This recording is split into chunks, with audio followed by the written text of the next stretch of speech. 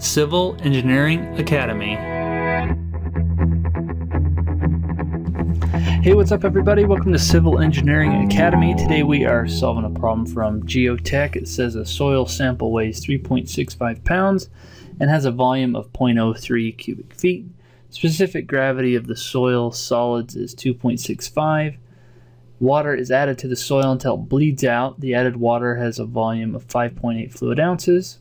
The dry unit weight of the original sample is most nearly what? So what we are trying to solve for is gamma dry.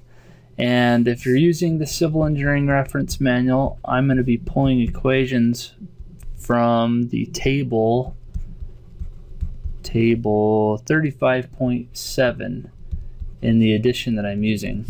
So we are our goal is to find gamma dry. And that table it basically says that gamma dry is equal to gamma sat saturated over 1 plus water content. So what we need to do is solve for each of these variables. First thing we can do is we can get what gamma of the soil sample is this is just a, a moist unit weight as we pulled it out. So this is the weight was given as 3.65 pounds. Divide that by 0.03 cubic feet. And that gives me 121.67 pounds per cubic foot. Okay, the next thing I'm going to look at is I'm going to try to get gamma sat saturated. So we add they added water until this thing bleeds out. That means there's no air in there. So this thing is completely saturated. So what we're going to do is we're going to take the 5.8 fluid ounces. Let's just do that over here. 5.8 fluid ounces. If you convert that, that's going to equal 0.3625 pounds. 5.8 ounces is 3.3625 pounds.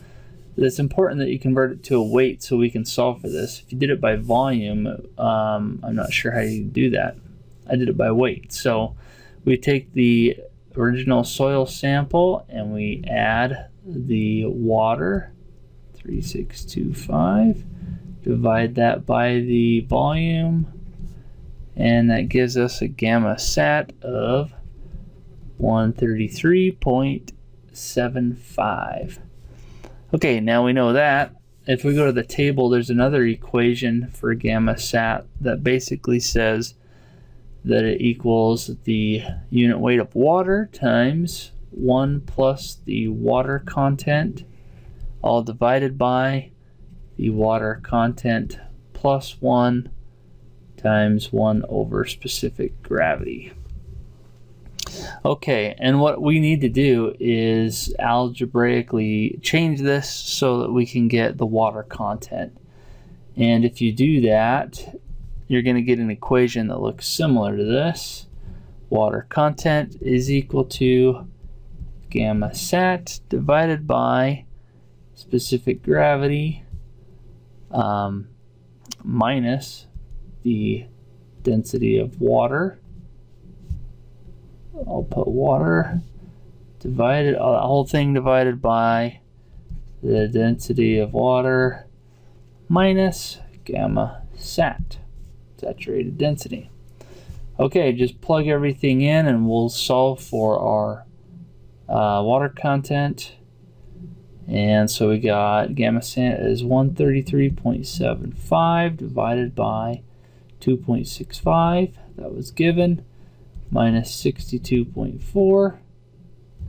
Divide that by 62.4 minus 133.75. And what do you get? I get 0.1 7. I'll round up.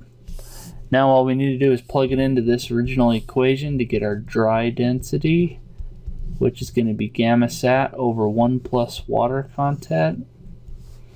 So that was 133.75 divided by 1 plus 0.17 and I get an answer of 114 pounds per cubic foot.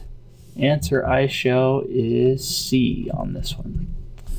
So I hope that helped you out. These ones can be pretty confusing. Normally you would draw out some sort of soil sample like this and we would talk about the air and this would be the water and this would be soil and we would figure out the volume and the weight and we would uh, figure out these totals but this one we were able to solve uh, more in terms of just looking at the equations in this table and we could figure out what gamma dry was normally you would break it down figure out each volume figure out each weight and, and get the values that you need but we did it this way. So I hope that helped you out. If you have any problems or troubles, let me know in the comments and we will solve them for you. Otherwise, head to civilengineeringacademy.com for more tips and tricks related to the PE. Thanks, bye.